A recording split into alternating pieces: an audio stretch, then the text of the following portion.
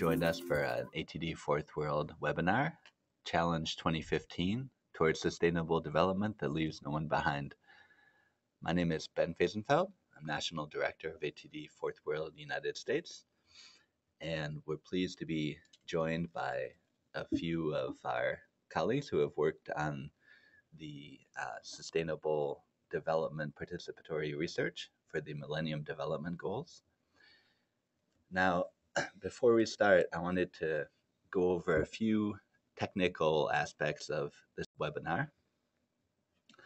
Your microphones are all muted, so uh, only the presenters will be heard right now. If you have questions, please type them in the chat box at the bottom of the GoToMeeting widget the event is being recorded and we'll post the recording on our website as soon as it's ready. We'll email you all when the recording is available. And on one last note, at the end of the webinar, we'll send out a survey to find out what you thought about the event. It's short, it's only a four question survey, so please take the time to fill it out and let us know so we can use that to improve future events. So the first person to speak today is Xavier Godinot, Research Director for the International Movement ATD Fourth World in the Paris office. And he'll be speaking about participatory research about the Millennium Development Goals and the conclusions of that research. Thank you very much for joining.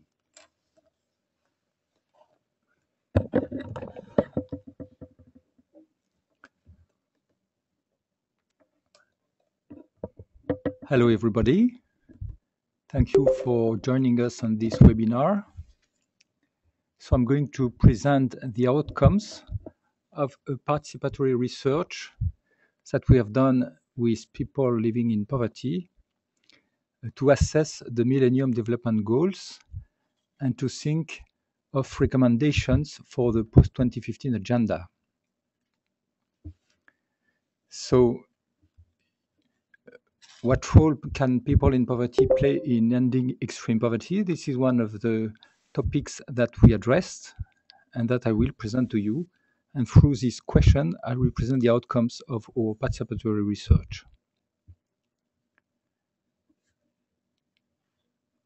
So uh, for the few of you that uh, do not know very well ATD Fourth World, here is a, a, very short presentation of the founder of ATD Fourth World, Joseph Wresinski, who more than 50 years ago contended that extreme poverty is not inevitable. Human beings made it, they can unmake it. This is a great goal. How is it feasible and what role should the poor play? So we have done a participatory research from early 2011 to late 2013 in order to contribute to the evaluation process for the MDGs and to contribute to and to work out recommendations for the post-2015 agenda. This participatory research involved more than 2,000 people from 22 countries, a majority of whom were people living in poverty or in extreme poverty.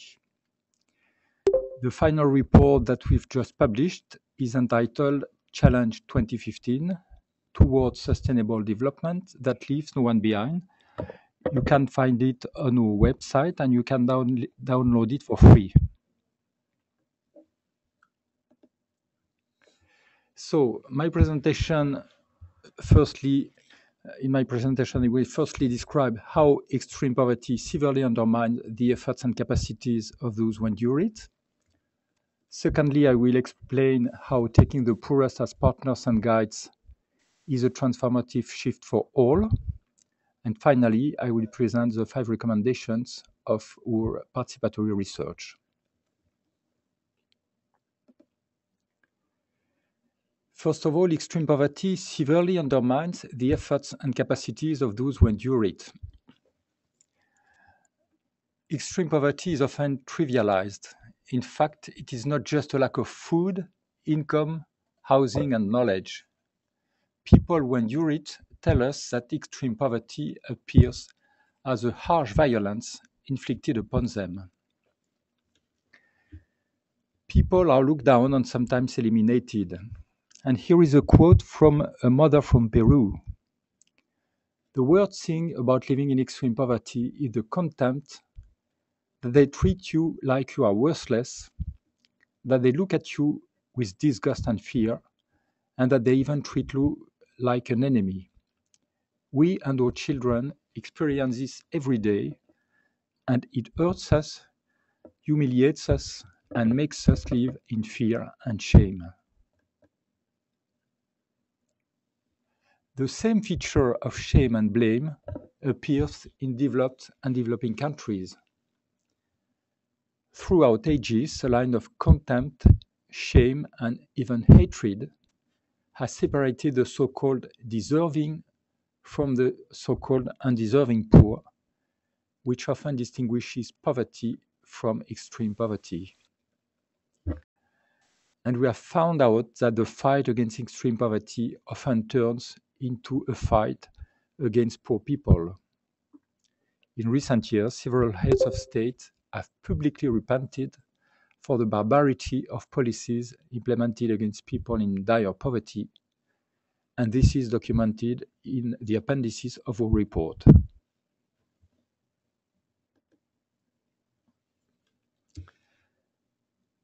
A second feature of extreme poverty is that people are made invisible in surveys and statistics. States have failed with the poorest families, said Clara from Spain, who lives in a lorry with her husband and her children. People on low income and social welfare were the hardest hit by austerity policies in Europe. Yet these people, and for example, Clara from Spain, these people do not exist in the UN database on global poverty, numbering individuals who live on less than $1.25 a day. In New York, the single town of New York, 1.4 million people rely on food pantries and soup kitchens to eat. So, tens of million people are made completely invisible in statistics. In fact, most surveys carried out in rich and poor countries by national or international institutions do not take into account households who are homeless or whose houses are not officially registered, which result in making them invisible in statistics. In Madagascar, we carried out uh, research for the World Bank that demonstrated that 70 people of the 750 people who lived along a dump and scavenged to make a living were not registered by local authorities. 70% of this group in dire poverty, only 10 kilometers far from the capital, had no official existence, neither for local and national authorities nor for international development agencies.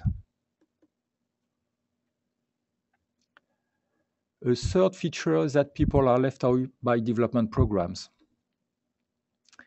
United Nations Secretary General Ban Ki moon stated in 2011 It is clear that the MDGs have made a tremendous difference. However, the poorest of the poor are being left behind. In fact, our research demonstrated that development programs most often work against people living in poverty and not for them. We are being demolished, stated participant in one of our seminars, participant coming from South Asia. We are being demolished. Many of the development projects end up displacing thousands of families. These projects aim to rehabilitate railways or develop a business, a shopping center, or something else. But their primary goal is never the well being or the better being of the affected people. This is what has to change first. And a fourth world delegate from a wealthy European country even stated people in poverty refuse to be treated as if they were nothing. Many actions and programs concerning the poor turn into oppression for them. Eventually, the identity of people living in poverty are damaged and their fundamental rights are violated. According to the guiding principles on extreme poverty and human rights adopted by the Human Rights Council in September 2012, extreme poverty is the combination of income poverty, human development poverty, and social exclusion, where a prolonged lack of basic security affects several aspects of people's lives simultaneously, severely compromising their chances of exercising or regaining their rights in the foreseeable future. The accumulation of basic insecurities, when it is chronic, ends up severely impairing people's capacities to exercise their rights. And you may know that Amartya Sen, the Nobel, uh, Nobel Prize of Economy, stated that poverty should be understood as a deprivation of basic capabilities. Now we should take the poorest as partners and guide, and this is a much needed transformative shift. A participant from Burkina Faso stated, even in extreme poverty, a person has ideas. If these ideas aren't recognized, people fall even deeper into poverty.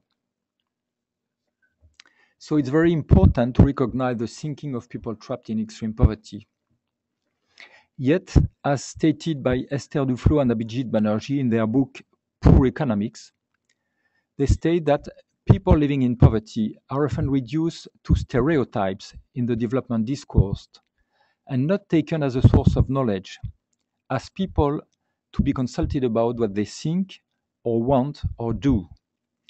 Taking seriously their experience and knowledge into account leads to a radical rethinking of the way to fight global poverty, which is the undertitle of their book. Yet, merely tapping low income communities for information constitutes what can be described as extractive research. From the outset, stated participant in was in a seminar in Mauritius. From the outset, people living in poverty must participate in the conception, decision making, and the implementation of the project. The project must be designed with them and not for them. It is essential to take time. And we think that a long term commitment with people in poverty aimed at helping them build their own autonomous knowledge is the only way to avoid extractive research. When we say extractive research, we may we make a comparison with you know extractive industries who may exploit natural resources without any benefit for local communities. For many years, we've been experiencing and improving the required conditions to bring to together on an equal footing people in poverty and academics, professionals, and community workers so that they can think together. These conditions make up what we call the merging of knowledge methodology. So in our participatory research, we took time to build an autonomous knowledge with people trapped in poverty or in extreme poverty. In each of the countries that took part in our investigations, ATD Fourth World teams organize weekly or monthly meetings with people living in poverty over periods spanning from 6 to 24 months in order to enable all participants to build an autonomous and collective knowledge and to voice it. But before being able to discuss with partners on an equal footing, low income individuals and communities who have long been humiliated need time to build self confidence and trust. They need time to develop a collective understanding of their situation and to construct a sense of agency. Yet, this participatory process is a process of empowerment and liberation for all partners. We organize national or international seminars in eight countries with partners who were either NGO representatives or representatives of governments, national governments, or international bodies like UNDP, the World Bank, uh, European Union, and so on. Yet, how is a dialogue feasible among actors from such different backgrounds? The success relies partly on the merging of knowledge methodology and mainly on a certain mindset rooted in the belief, confirmed by decades of experience, that it is only by fundamentally changing our relationship to people in poverty that true change will occur. On the one side, people in poverty must gain more self confidence in their knowledge and capacities. And on the other side, people in power must gain humility and openness about what they do not know. Both sides must learn how to free themselves from the fear that restrains us all to sing together, to live together, and to find a common language. Over years, this process empowers all participants and can even be liberating, as explained Mrs. Mariam from Burkina Faso. She said, I have had many difficulties in my life, and I continue to worry about my children and my sister who lives on the streets. But I say that my misery is over. What does that mean? It's because, it's because people I didn't know before, and even those that I did, have become closer to me. That's why I can say that my misery is over. I am now among people. Mrs. Mariam feels freed from the shame that was linked to her situation, and her freedom makes others feel freer too. Now I come to the five recommendations that we made for the post 2015 agenda. The first one is leave no one behind. Leaving no one behind requires eliminating discrimination based on poverty, social origin, gender, or economic status. It also requires aligning development targets and their implementation with human rights norms and standards in keeping with the UN guiding principle on extreme poverty and human rights. The second recommendation is to promote an economy that respects people and the environment. In a world with limited natural resources and rapidly growing inequalities, a profound economic transformation is needed. Full employment and decent work for all should be supported by new investment for the transition to a more ecological economic model including the implementation of social safety nets at national levels in all countries. The third recommendation is to achieve education and training for all based on cooperation, not on competition, among students, teachers, parents, and communities. This cooperation could help adapt the teaching process and course contents to the needs of the entire community, not just of the better off families, and to remove hidden barriers to quality education, like discrimination or additional costs. The fourth recommendation is to promote peace through participatory good governance.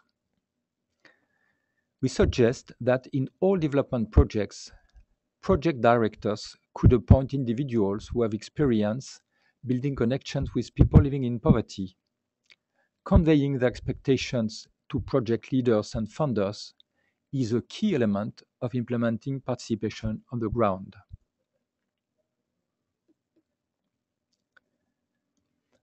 All of the above will not be achieved if we fail to introduce people living in poverty as new partners in building knowledge about more sustainable forms of development.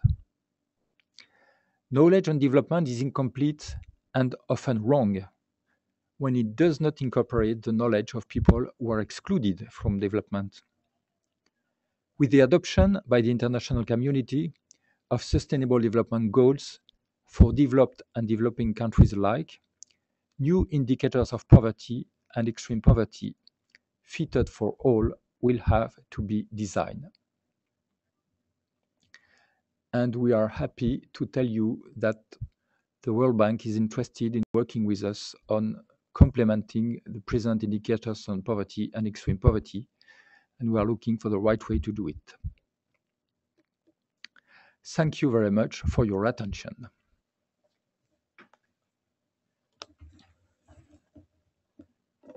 Thank you very much to Xavier Godinot, Research Director of ATD Fourth World Movement International, the Paris office. And just as a reminder, if any questions come up while you guys are listening to this, you can put those in the chat box at the bottom of the screen and you can select that they'll be going uh, to Dave Meyer, the organizer of this call. Um, and next, we'd like to welcome Guillaume Charvon, who was the national coordinator for ATD Fourth World in Burkina Faso and helped to coordinate the participation of Burkina Faso in this research.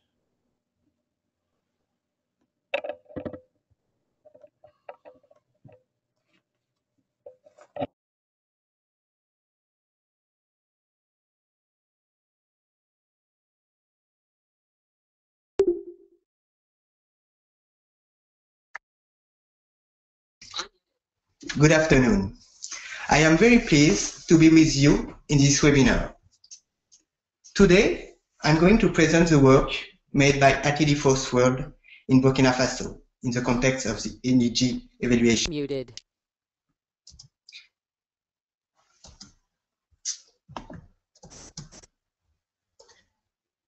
In this country, an action research project was carried out over a period of 18 months. During this time, and with a background of 30 years of experience in Burkina Faso, we try to understand with people living in poverty what is the meaning of education, education for all. 335 men, women, and children in urban and rural settings across Burkina Faso were involved in this research. Together, we try to think about what knowledge do we need to build a future for everyone? We finished to build and share our understanding during an international seminar that took place in Ouagadougou. Participants were drawn from very different backgrounds and with different family, professional, or institutional responsibilities. The majority of these participants face hardship on a daily basis. The others were researchers, professors, and school directors, delegates from UNICEF and from different ministries and non-profits. As a result of the action research, we were all working together as partners. About the context, there are three facts that show how Burkina Faso is a challenging country. It is a sub-Saharan West African country where the population faces a generalized precariousness of life in terms of health, nutrition, access to water, and education. Its landlocked position means that the country is also vulnerable to economic shocks, such as sudden hikes in food prices, which limit access to affordable food for the vast majority of people. The United Nations Human Development Index classifies Burkina Faso as 183 out of 187 countries globally in 2013. Education, a meeting point or a trouble spot.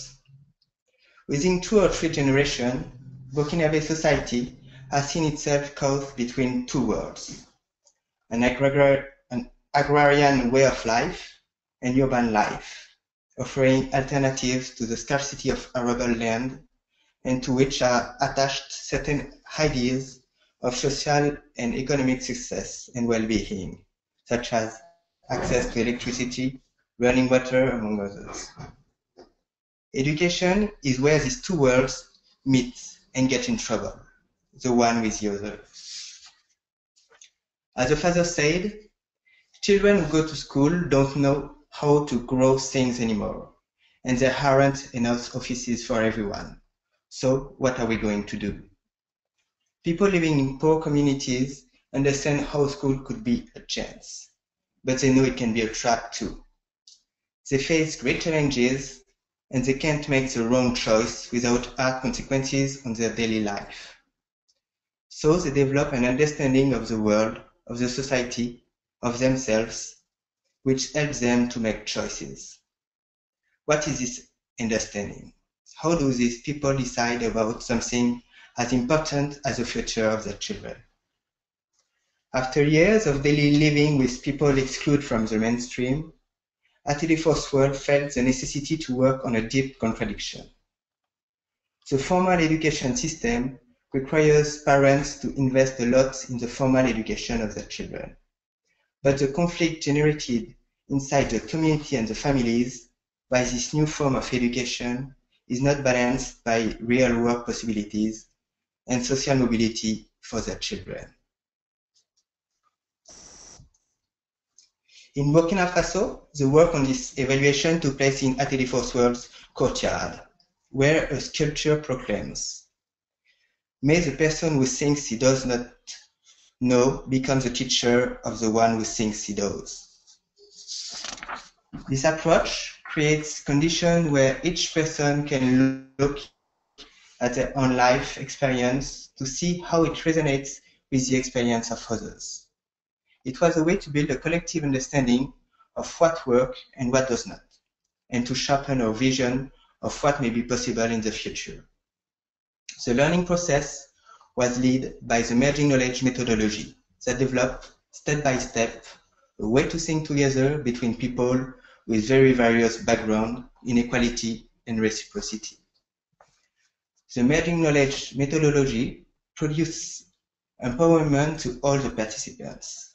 Mr. Alexandre is one of the people who contributes to our evaluation.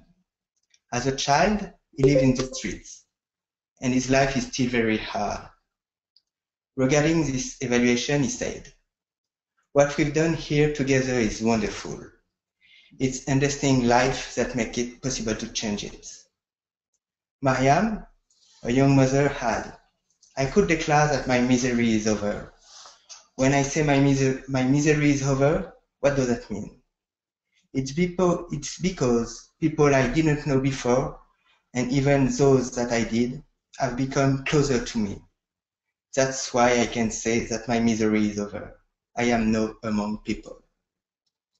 Researchers from the universities who participate in this process of understanding knowledge also questions their own responsibilities concerning this quest for education for all. As Elaine Chase from Oxford University explained,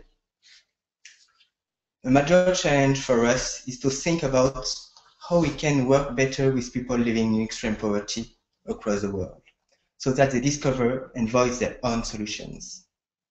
The emerging knowledge methodology is still experiment, experimented by, in different contexts by the Fourth World movement, even here in the US, in partnership, in partnership with UMass Boston.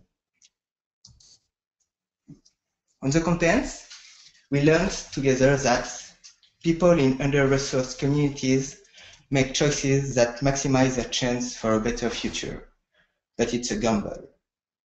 Within the same family, some will go to school while others will stay and learn about agricultural and pastoral life. Since success is understood collectively rather than on, a, than on an individual basis, the chances of success for the whole family are increased through the diversity.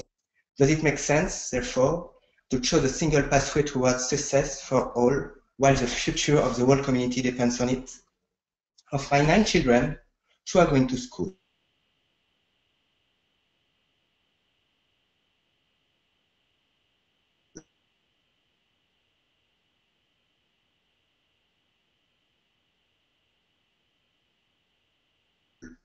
The girls are going to learn about morally acceptable. Why should some have the chance to go to school and not others? each logic drawing its reference from its own value system. And this system being exclusive of each other, there is no real meeting point through which one world can influence, can influence the other. And value systems that does not meet tend to become value systems that are judgmental, judgmental of each other's, each other. The action research and the seminar generated some consensus about the meaning of educational success. Success in education is firstly the expression of basic values. It is solidarity. We learn that by seeing this dad. He lived in Biggie. He lived by begging. But when one of his friend's children came back from school without having eaten, he took 100 francs out of his box to give him, without knowing if he would have enough for his own child. It is dignity. My friends tell, tell me to come and eat at their house, but I tell them that I, I've already eaten. If I told them I was hungry, it wouldn't be respectful to my father. It is respect, pardon, humility, and courage. Without courage, I wouldn't be able to do anything today and someone dead will do better than me. Educational success was also defined in terms of becoming useful to self, family, community, and society as a whole. Knowledge makes sense when it creates cohesion within a community around a set of shared values.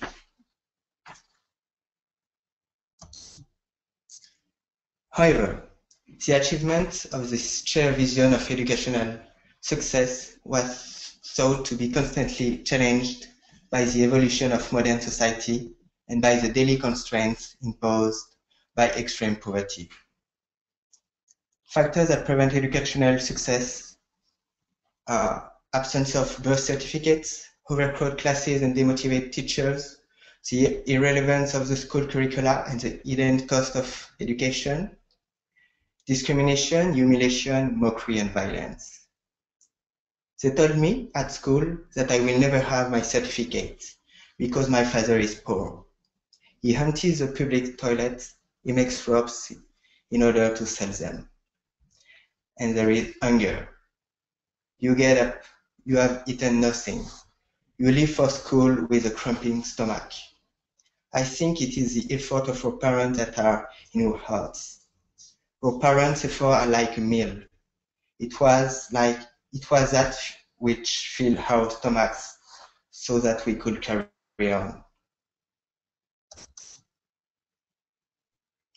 The wider question concerning what education for all means in a country like Burkina Faso is illustrated by the following quote from one participant in the research. If educational success is to work in office or be a politician, I can say that among the poor, those who succeed are very few. That is why so many families living in poverty stop sending their children to school. That is why I suggest that at school they also teach children training how to do things. If they did that, then we could believe that school is for everyone. For researchers and universities, they learned that the concept of education has to be expanded to include work on understanding conceptualization of basic knowledge and what constitutes educational success. We all agreed that traditional knowledge and specialized knowledge should complement each other to implement a future for everyone. And to conclude, we can say that education clearly has the potential to help of alleviating extreme poverty in countries such as Burkina Faso in economic, social, and political terms. Equally, it can play a significant role in reducing social marginalization, giving people greater control over their lives, and sustaining a system of good governance.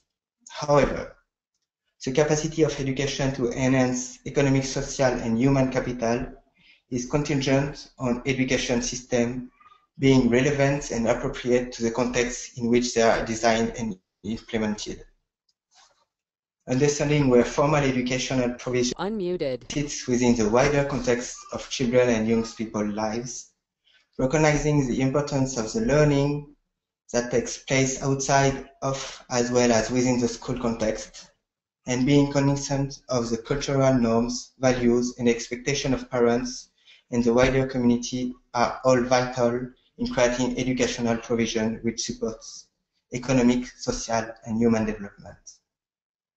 Such, under such under understanding comes from a continuous process of dialogue, interaction, and mutual learning between the formal education system and the wider communities they are intended to serve. Thank you very much. Thank you very much to Guillaume Charvon. Now we're going to hear from Fabio Palacio, who is an advocacy associate at the United Nations in ATD Fourth World.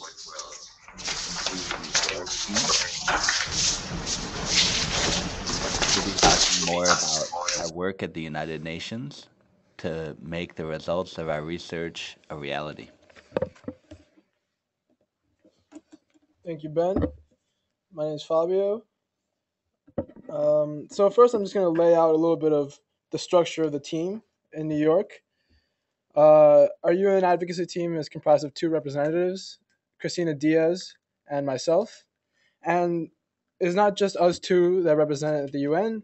Well, we represent the UN, but we take in a lot of consultation, a lot of knowledge and strategy from the rest of our international team, which comprises people who do advocacy at various other international institutions, such as the Geneva branch of the UN. Uh, we also have local teams around the world uh, that feed in information and ideas as to how to perform better advocacy. We also perform advocacy at a regional level, and we consult with the people that do this as well. Now, the objectives of our team in specific are, two, are twofold. First of all, is content to influence development policy at the United Nations particularly at this moment, we're focusing on post 2015. And I'll talk later on about this, but we tried to make sure that our proposals and the way we, we shift policy or we try to shift policy reflects the findings of our participatory research. Uh, and secondly, as Xavier explained, we don't at ATD Fourth World, we our primary our concern isn't only content and bringing out this knowledge, but also making sure that it's done the right way. And this is reflected in our work at the United Nations, where our priority, where one of our priorities is also changing process, the way we we build policy, the way we conduct debate, the way how inclusive uh, all of our structures are. So, what's our method? Uh, our method has four main components. We perform policy analysis using the research that we've done, speaking with our teams themselves, uh, feeding in information from all our different entities, and also doing research uh, at our offices in New York. We leverage partnerships throughout the UN network uh, to strengthen our proposals and to disseminate information. Uh, we participate and organize activities uh, where we can present our findings and present our proposals and also bring in people living in poverty themselves to speak on their own behalf. Uh, this is a, a way that we try to bring to bring to the UN this new these new processes that we think uh, should be adopted at the international level. Finally, uh, something that all of us who perform advocacy know is extremely important is direct advocacy and relationship building with uh, decision makers. Uh, in our case, at the United Nations, decision makers are member states and their representatives. UN uh, agencies who feed in uh, a lot of con- a lot of information and advice to these member states, and so we really try to cultivate personal, individual relationships through through which we can um, pass on our ideas. If you if you go to our website, and I'm sure there'll be links uh, later on or in the emails that we send out, uh, you will see you can you can find the different policy papers that we've written. All the policy papers have have been created through a twofold process. First of all, we take the proposals of the research that Xavier presented, and we compare them to the language that exists at the UN. And there has to be a translation process between the language of participatory research and the language of policy. And we, we've tried to hold true to the uh, proposals of the participatory research, and Xavier would tell us whether or not he agrees with uh, our integrity, but I think we've done a pretty good job. And you can see for yourself on, on the uh, position papers how well we reflect the findings. And also, I guess you'd have to read the report, which is probably a good idea, anyways. We also have a policy brief on CBDR, um, common but differentiated responsibilities, uh, because we think it's it's it has become a critical issue at the UN, and we wanted to weigh in a little bit on it. Uh, some of the partnerships that we have at the UN uh, include various NGO committees. The NGO Committee for Social Development, uh, the NGO Committee for the Eradication of Poverty, and the NGO Committee on UNICEF. Through these committees, we tried to organize advoc- joint advocacy efforts, um, coordinate policy proposals, and organize events. Uh, also, for example, the Baha'i International Community uh, is a is another organization that with whom we've partnered for a very long time uh, with breakfast uh, morning breakfast dialogues where uh, we discuss policy proposals and ideas that are particularly important for post 2015 and i'll discuss those further in the next few slides and secondly we are also uh, heavily engaged with unicef's post 2015 unit with whom we're organizing a different kind of dialogue that i'll talk about now so the monthly breakfast dialogues below you can see a picture of what it looks like uh, is a really interesting uh, event that has actually proved to be pretty well received at the at the UN at the UN family in New York. Uh, these breakfast dialogues we've had 19 so far, and they they seek to discuss in an inclusive manner uh, some of the, some of the ideas that are important right now uh, in post 2015. Uh, the the reason we find them particularly innovative is because of the kinds of discussion that we have. The discussion is intentionally very informal. It uh, it, it operates operates under the Chatham House rule, which means that no, none of the speak none of the ideas uh, put forth can be attributed to the speaker or their organization, uh, and the diversity of people who come is also pretty pretty remarkable. We always have a pretty good distribution of NGOs and civil society organizations, UN agencies, and member states, and they speak on a pretty equal footing. And we believe that this is the kind of process, is a kind of methodology that should be adopted throughout the UN system and other institutions. Another interesting uh, event that we've been organizing. Oh, so those monthly breakfast dialogues have been organized with Baha'i, and they are held at their at their offices. The next uh, event that I wanted to discuss was uh, regionally focused Skype dialogues. Uh, we've had one so far organized with UNICEF, uh, where we helped prepare a, de- a delegation from Boston, Massachusetts, uh, who has been engaged in participatory research for a long time through ATD Fourth World and the Center for Social Policy at UMass um, Boston. And through Skype, they were able to have a conversation with representatives from various organizations at the UN. Uh, in this case, it was the permanent mission of the United United States, uh, Denmark, and um, uh, and then there was also representatives from UNICEF and the PGA. And through these conversations, they were able to discuss some of the things that people living in poverty in Boston find particularly important. In this case, they spoke a lot about social protection, discrimination, access to services, and we were able to really focus on some important uh, f- factors for these for people living in poverty and how pe- how people at the UN could help change these things. We also organize side events whenever we can. Uh, our most recent one was during the Commission for Social Development, and it focused on shame and other qualitative issues related to social exclusion and how to measure them. Uh, it was a very interesting event, and we had a person living in poverty explain how discrimination and social exclusion affects not only the quality of her own life, but also the quality of the social programs that are organized for her benefit. Uh, finally, whenever we get the chance, we try to create speaking opportunities for people living in poverty to speak for themselves. Far too often, we have conversations where we discuss issues that are most familiar to people living in poverty, and we assume that we have the expertise to speak about it without them there. But it seems to, to us at ATD Fourth World that the knowledge held by people who actually experience these things that we discuss is extremely important and wasted on a regular basis. So, again, these are opportunities and these events are opportunities to not only bring forth content, most of which comes from participatory research, but also to demonstrate how process can be different at the UN and other international institutions. Uh, there's not much to say about direct advocacy. A lot of us who perform advocacy understand what it means. Uh, we have on a regular basis we meet with with delegations we have uh, informal conversations and we try to present them our ideas and our proposals. The stronger these relationships are the better the more the better accepted our proposals can be.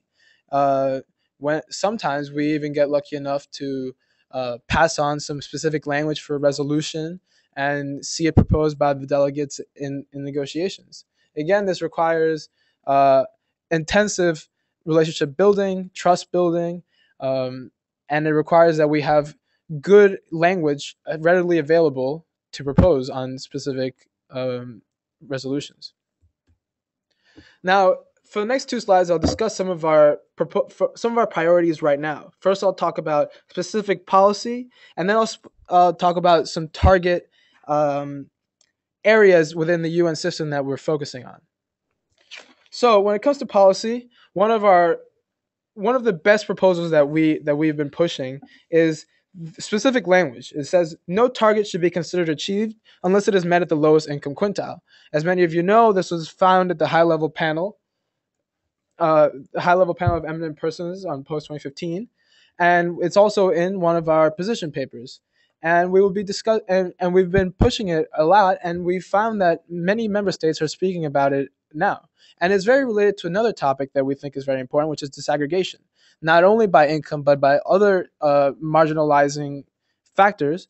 Uh, and we believe that no target should be considered accomplished until it reaches all the relevant social groups. And there's a lot of research out there done on this particular issue, not only through the participatory research that we did, but also the work of Catarina de Albuquerque, special rapporteur on the right to safe drinking water, uh, explains in her own research that too far too often development projects increase access for the easiest to reach. So the middle classes the middle income the middle of the income distribution but leaves the lowest income quintiles and the lowest deciles untouched. Uh, and not only does this decrease the effectiveness of policy it also increases inequality at the low at the bottom end of the distribution Next, social protection floors have become uh, a very popular idea, and it's something that we think is particularly important for not only maintaining economic development, but also securing human rights for all. Uh, social protection floors have, are, are being pushed at all uh, uh, by all of our teams around the world, and also uh, by the Global Coalition on Social Protection Floors, th- uh, with whom we're very active. Uh, next, and something that comes up in participatory research is the multidimensionality of poverty. Poverty measured simply by income, uh, as many civil society organizations agree, is uh, a really incomplete measurement of poverty. And so, by pushing and by suggesting and proposing uh, multidimensional measures, uh, we're, we're trying to expand this definition. Uh, you've, we have seen at the United Nations, uh, at the Sustainable Solutions Development uh, Sustainable Development Solutions Network, um, the idea of extreme poverty in all its forms, uh, which is another idea that that we think is very interesting as, a way to include uh, different kinds of poverty, different elements of poverty into the measurements that that we use for monitoring progress. And again, here at the World at the World Bank is what we're trying to achieve, trying to open up these uh, large institutions that dominate how we measure progress and open them up to new measures, uh, particularly qualitative measures that can, that can that can grasp uh, issues like social exclusion, discrimination, isolation, and shame. Finally, implementing a rights-based approach to development, and it, we this is one of our most worrisome areas because we see that rights as an issue is being uh, marginalized in the post 2015 development agenda. Uh, as, as you might expect, we think rights are one of the strongest ways by which we can secure some of these economic issues that we're trying to push on a regular basis through post 2015. Uh, but at the same time, this strength is also uh, what makes it so hard to to uh, disseminate and to popularize. But we're keeping that up, and the NGO Committee on Social Development, in particular, is going to be more active uh, in the next few months in securing this rights-based approach. Now, the rights based approach and maybe I'll talk about this. Yeah, I'll talk about this in the next slide. Uh, and then finally, before I move on to the next slide, uh, there's participation, and I know there's somebody from Participate here on the on the call, and it's definitely a priority as as we've demonstrated through our events and our and our constant um, emphasis on participation. But we're we have trouble finding ways to propose participation in language that leads to measurable targets. Uh, we're still doing research on this, and we're still open to ideas, uh, and we're still suggesting that it's included in narratives. But we understand that uh, as a target, it would be very hard to translate. But again, we are we're open to as many ideas as possible on how we can propose this in measurable language. But there is language for narratives, for example, including people living in poverty in design, implementation, monitoring, and, evalu- and evaluation of development programs that affect them. Now, this is my last slide, uh, and it's just to demonstrate where we're trying to bring some of these ideas of uh, uh, that that I just proposed. So obviously, the Open Working Group on the SDGs is uh, the most a- active body, and where we're most active right now uh, on post 2015. Um, now, the the next issue on here on the slide is rights versus economic development, which I already spoke to uh, in my previous slide. Uh, but it's an emerging issue, and we're seeing a more clearly, uh, more clear dichotomy between those who believe that this agenda should be only about economic development and those who think that rights are an integral part of economic development. Of course, at ATD Fourth World, we believe that rights and economic and, and, and economic social rights and cultural rights are part of economic rights, and they're inalienable and um, indivisible. Uh, another particular area where we're interested right now is uh, the PGA special events uh, and interactive debates uh, on uh, with something they call setting the stage. We've been advocating strongly for them to include more people living in poverty in all of these events. Um, and so we'll see how we can do how we do in this, but we would love the support of all the people listening here to um, increase lobbying and advocacy on behalf of people living in poverty, not to bring forth their ideas uh, uh, on their uh, on their behalf, but rather to have them in the room themselves speaking on their own behalf.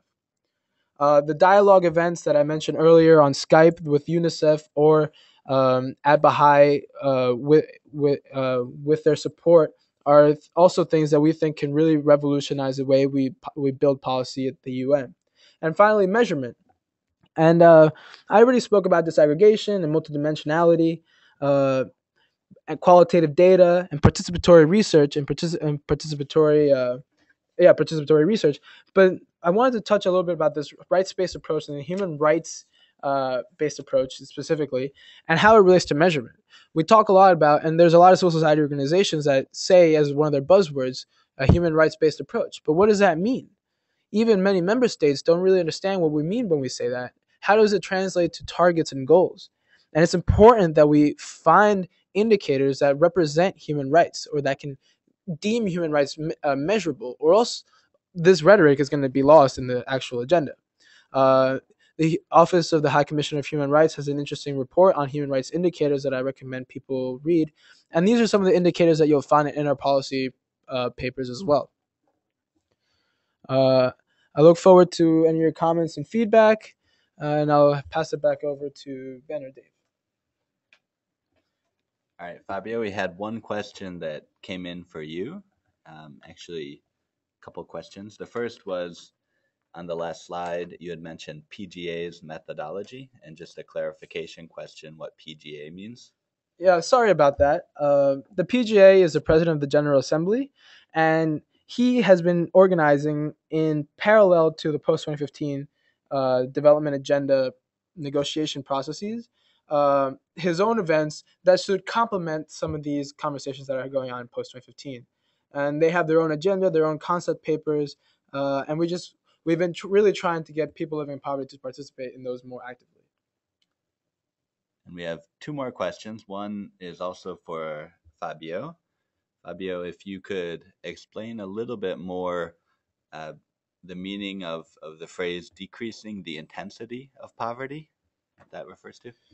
Yes, we like this definition, this language a lot because it's more in line with the ATD fourth world definition of extreme poverty. Uh, as Xavier mentioned in his definition, uh, it, the way we conceptualize extreme poverty is a is a overlapping of deprivations and how this overlapping can make it harder to regain your rights. Now, the way the uh, multidimensional poverty index works is it measures how how how many concurrent deprivations a person experiences or household experiences, and depending on this number of overlapping deprivations, that's how they calculate the intensity of poverty. Um, and we like this, and we like this, and we think that decreasing this intensity is more in line with how we conceptualize uh, extreme poverty. Additionally, I should add that the MPI, the currently the current the existing MPI doesn't have social indicators like social exclusion or ways to measure uh, discrimination, but that's also lobbying that we're doing to try to inc- increase or include qualitative measures like those into the MPIs of the future. All right, thank you very much, Fabio. We had another question that came in from Erica at Participate in the UK. She said that Participate works very closely with ATD in Latin America, and ATD was part of their participatory research group. So she knows about the work that ATD Fourth World does with people in extreme poverty. But how do we work with those in power? How do we change their mindsets? It's a major challenge to bridge the gap, but most times policymakers and academics are not are the ones that won't change themselves. So this question we're going to give to Xavier Godinot. Yes, thank you for putting this question. I would say, how do we try to change the mindset of people who have power? Uh, first of all, I would like to uh, to recall uh, what the founder of ATD Fourth World, Joseph Wresinski, used to say. He used to say, "We have no enemy to kill; we only have friends to win." And this is how we, we are trying to you know to work.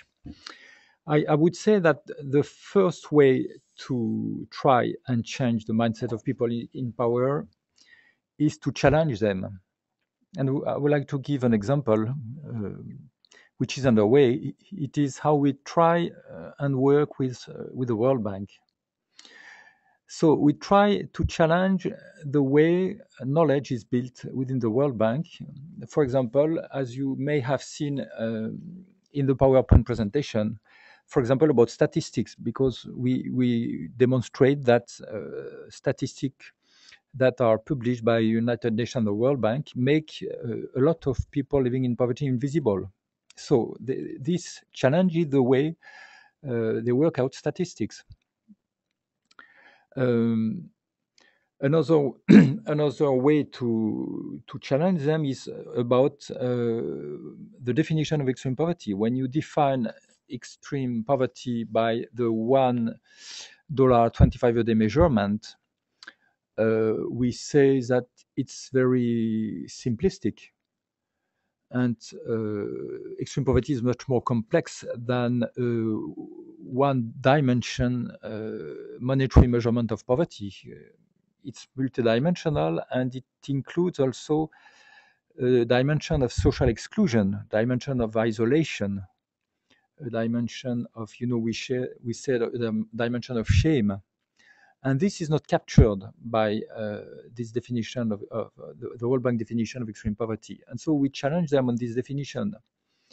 And um, we offer to collaborate with them. We do not only challenge them, we say, well, we, we, we would like to work with you and try and find with you uh, a more uh, accurate definition of extreme poverty and a more uh, accurate way of uh, building up knowledge on extreme poverty. Uh, we offer them to collaborate with them, and we offer them also, I would say, to support us because we we you know many relationships with people uh, within the World Bank staff. We find uh, people who are really receptive and who would like to support us, and so we we have to find the ways they can support us. And we also think we must give them the chance uh, at a point to meet with people in extreme poverty and to find out that they really uh, have a thinking which is of interest, that they really have ideas of, of course, what extreme poverty is, but also they have ideas on how to fight it. Uh, what is requested to to put an end to extreme poverty. I must add that in the way to challenge people in power, we very often refer them to their own mission and ideal. For example, the mission of the World Bank is to end extreme poverty. It's written here on the walls, and they they have adopted a new uh, a new goal, which is to promote shared prosperity and economic inclusion. So, what is economic inclusion? How do you define it? Uh, and we contend that you cannot define properly what is economic inclusion if you do not take into account the knowledge of people who are excluded from economic development. If you do not take their knowledge into account, your knowledge will be insufficient or even wrong. So we offer to collaborate with them to complement uh, their knowledge with the knowledge coming from uh, people who have the experience of poverty and coming from people who are uh, committed with people living in extreme poverty. Uh, and once again, we we want to give them the chance to to meet with people trapped in extreme poverty, and to dialogue with them on an equal footing, which is also a, another challenge. And I will end up uh, by uh, explaining that this takes time, and we need to you know to to have an approach of people uh, in power, a long-term approach with them. If we want to you know, to influence people and to influence institutions, we need to take time with them exactly as we need to take time with people uh, experiencing poverty to empower them. We're going to thank Xavier Godinot, Fabio Palacio, and Guillaume Charvon for sharing with us this afternoon. And as you can see on your screen, the MDG report is available for download. And we would invite everyone to please take a short survey to give feedback about this webinar and also look at the fourthworldmovement.org slash UN website for more information on our advocacy work at the United Nations. Thank you very much for joining us, and this concludes our webinar.